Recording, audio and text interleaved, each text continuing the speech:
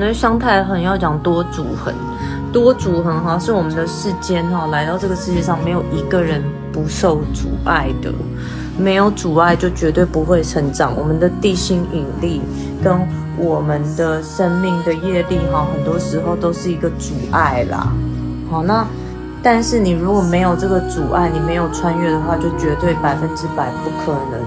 成长的。但是呢，当你穿越过特定的阻碍之后，你也不会退转。你有可能忘记了，有可能多走一些路，花多了一点时间。可是你的灵性，你只要达到了一定的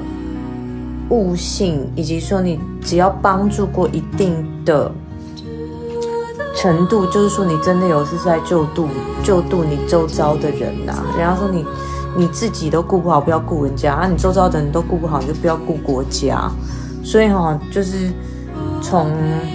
怎么讲，这是称为第二个哈，叫多阻横。就是说，你周遭遇到再大再大的阻碍，你父母亲怎么样子也好，或者说你的身体状况好，就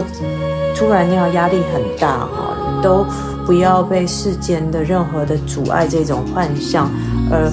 而退转而而倒转，因为呢，这个哈永远都不会。